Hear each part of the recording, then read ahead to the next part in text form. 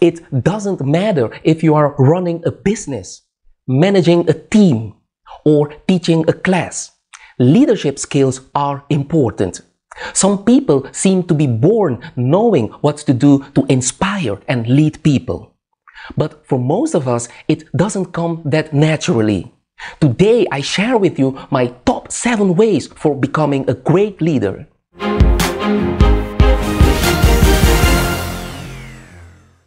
Hi guys, as always, it's a pleasure talking to you. And hey, if this is your first time on this channel and you like videos about self-improvement and happiness, I invite you to subscribe to my channel. Hit the red button because I'm here to give you tips and strategies to achieve your dreams, unleash your true potential and live an awesome life. And hit the bell button so you get a notification every time I post a new video.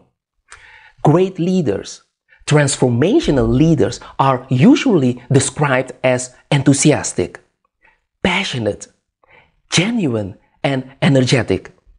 These leaders are not just concerned about helping the group achieve its goals, they also care about helping each member of the group reach his or her full potential.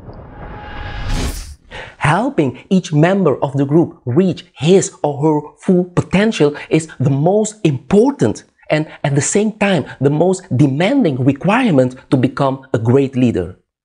A great leader is genuinely interested in each member of the group. A great leader lets each member of the group know that he or she cares about their progress. Luckily, leadership isn't always a magical gift, but a set of skills that you can acquire and practice. Here are seven ways you can practice to become a great leader.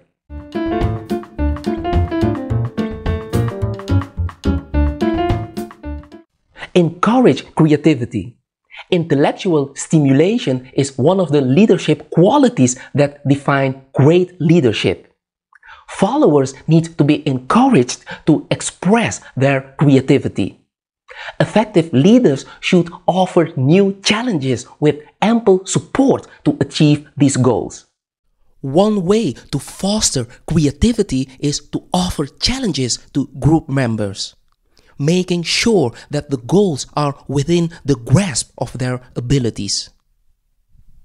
The purpose of this intellectual stimulation is to get people to stretch their limits, but not become discouraged by barriers to success.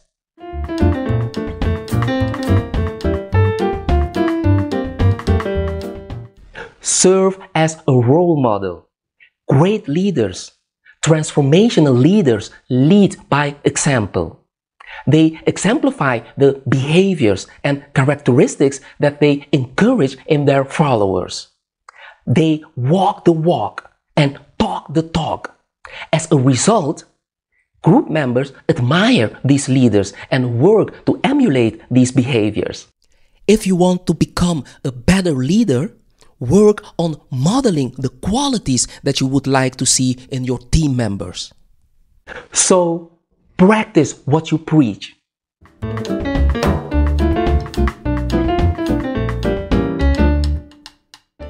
Encourage people to make contributions. Let the members of your team know that you welcome their ideas. Leaders who encourage involvement from group members are often referred to as democratic or participative leaders. While they retain the final say over all decisions, they encourage team members to take an active role in coming up with ideas and plans. Research has shown that using a democratic leadership style leads to greater commitment more creative problem solving, and improved productivity. The worst thing you can do as a leader is to discourage your team members to take an active role in coming up with ideas and plans.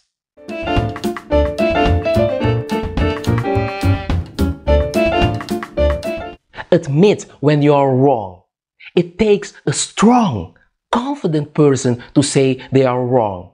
Sometimes people think that admitting you are wrong is a sign of weakness, but in fact, just the opposite is true. The more honest and open you are, the more people will respect you as a leader. There is something about being human that makes us hesitate to admit fault, even when it's obvious to us and to everyone else that we screwed up.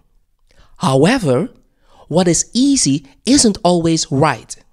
In fact, admitting you are wrong can change the way others relate to you and can make you a stronger and more respectable leader than you have ever been before.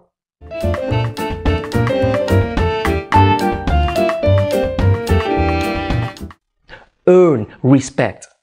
Earning respect isn't that difficult. All you have to do is conduct yourself in an ethical way and model what you expect from the others on your team. Show them you know where we are going and that you are not only telling them what to do, but also marching in step.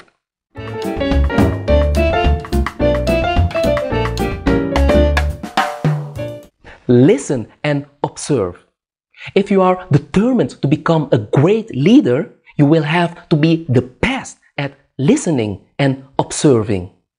People express themselves with their manners, words, and body language every day. You can tell a lot about a person if you observe them. See what they are passionate about, what makes them excited, which tasks make them gloomy, and which seem to make them happy. Leadership is a privilege to better the life of others. It is not an opportunity to satisfy personal greed.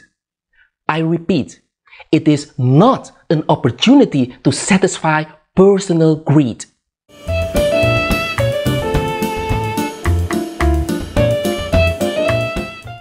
Give credit.